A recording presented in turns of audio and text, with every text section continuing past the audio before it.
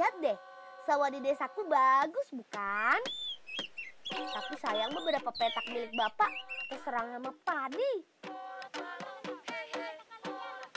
Makanya nih, aku minta diantarkan sahabat-sahabatku untuk mencari obat hama alami. Kata bapak, lebih baik kalau menggunakan bahan alami dari alam langsung daripada menggunakan zat kimia.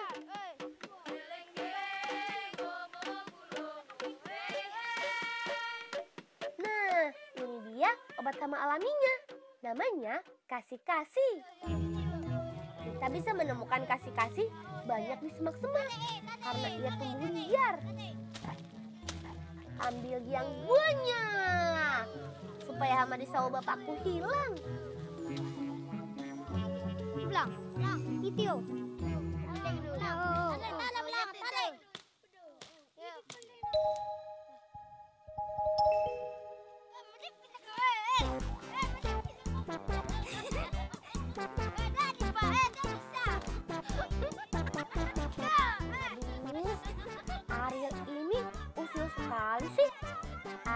Kamu ya.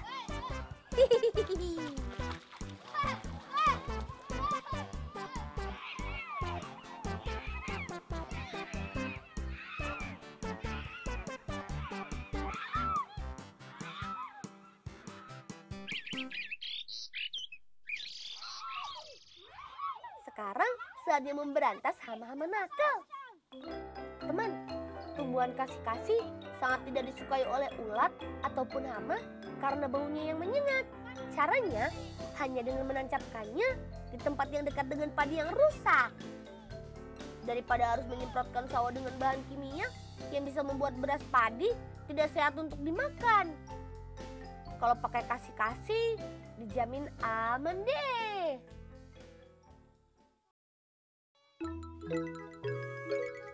Desaku, petani selain memanfaatkan sawahnya sebagai tempat menanam padi, biasanya juga mencari penghasilan lain dari tempat tersebut, yaitu memelihara ikan. Sekarang, kami mau menangkap ikan-ikan di kolam kecil milik bapakku ini.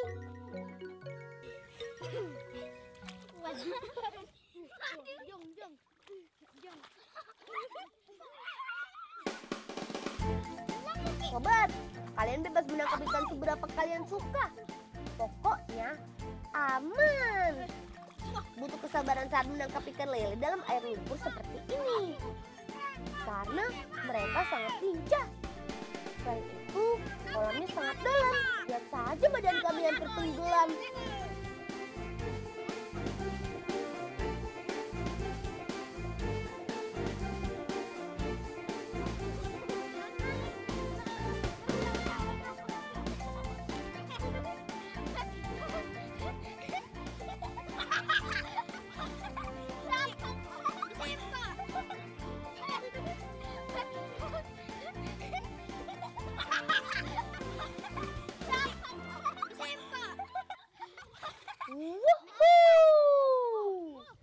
Dapat banyak.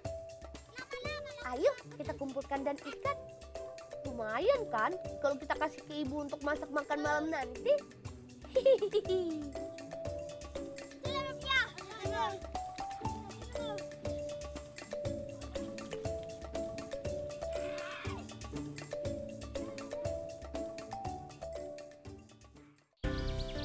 Ayo ayam-ayamku, saatnya kita mandi di sungai. Teman, di Tanah Toraja ada kebiasaan untuk merawat ayam-ayam adik. Ayam ini harus dimandikan, kemudian dipijat beberapa hari sebelum diikut sertakan dalam adu ayam setelah upacara Rambu Solo berlangsung. Upacara Rambu Solo adalah upacara penguburan jenazah bagi masyarakat suku Toraja. Sambil menunggu jadwal Rambu Solo dilakukan, masyarakat mulai merawat ayam-ayam adunya. Sebenarnya tradisi adu ayam ini biasa dilakukan oleh orang dewasa. Tapi untuk perawatannya siapa pun bisa melakukannya. Beginilah cara merawatnya. Dengan memijat tubuh ayam sambil memandikannya. Supaya otot ayam menjadi kuat, jadi ayam ini bisa menang saat diadu nanti. Kami akan selalu menjaga dan melestarikan kebudayaan yang ada di tanah kelahiran kami. Kalian juga ya. Salam.